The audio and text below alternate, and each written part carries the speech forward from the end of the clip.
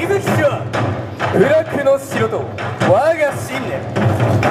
強さとは難攻不落の絆なり。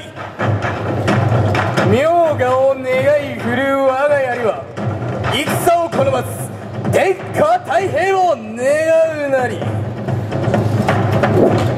日本総中資本に数えられし加藤家筆頭飯田革命名を陰わしの鍋あるはあ。熱き思いをこの胸に。我ら熊本城も照らし武将隊。はあ。我々の演武故郷風将とくとご覧あり